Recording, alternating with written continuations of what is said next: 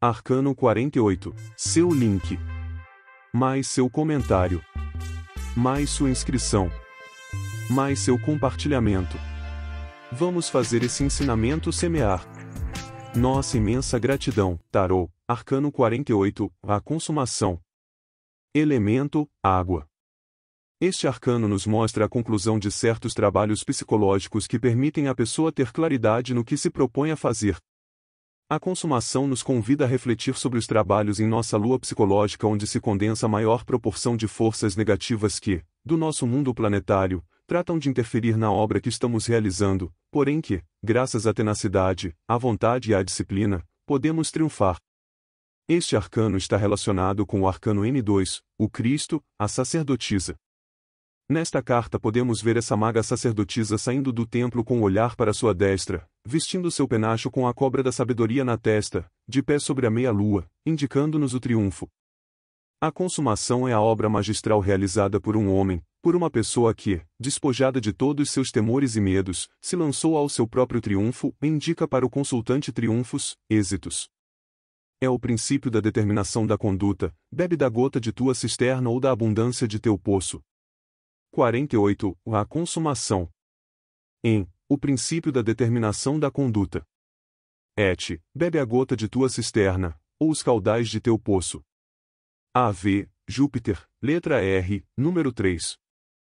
EG, segurança em si mesmo, plenitude de satisfações, convencimento do próprio valor. Cuidado com a vaidade. D, logro, vitória, ciência. R, amor impossível. Elemento: água.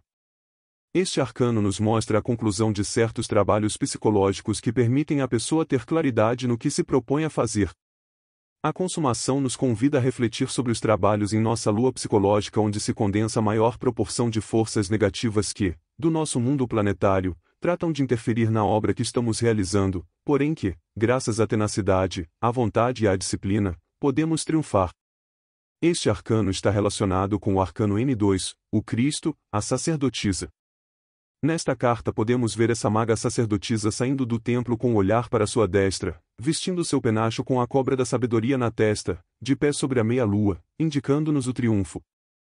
A consumação é a obra magistral realizada por um homem, por uma pessoa que, despojada de todos seus temores e medos, se lançou ao seu próprio triunfo e indica para o consultante triunfos, êxitos é o princípio da determinação da conduta, bebe da gota de tua cisterna ou da abundância de teu poço. 48. A consumação. Em O princípio da determinação da conduta. Et, bebe a gota de tua cisterna, ou os caudais de teu poço. AV, Júpiter, letra R, número 3. EG, segurança em si mesmo, plenitude de satisfações, convencimento do próprio valor. Cuidado com a vaidade. D. Logro, vitória, ciência. R. Amor impossível. Tarô de Marsella. Três de copas significado. Três de copas é uma carta que simboliza felicidade, abundância, prosperidade, alegria, reunião e celebração. Você está entrando em uma fase abundante de sua vida onde acontecimentos felizes estão prestes a acontecer, trazendo momentos felizes e incríveis ao lado daqueles que lhe querem bem. O momento é de deixar para trás todo o estresse do dia a dia, as preocupações que tiram seu sono e se dedicar aos amigos e familiares, buscar se divertir com aqueles que ama, ir em festas, fazer novos amigos, curtir a vida. O universo está se movendo, liberando amor completo, para que você consiga aproveitar cada segundo, deixando a energia positiva e edificante transbordar por seus poros e contagiar seu entorno. Curta esta nova boa fase de bons sentimentos com o coração e a mente abertos ao lado de quem ama. Esta carta também indica convites para festas e festivais que marcam momentos importantes na vida de alguém, como casamento, chá de bebê, formatura. Pode ser que esta festividade seja sua, mas o mais provável é que simbolize a celebração de alguém muito próximo a você.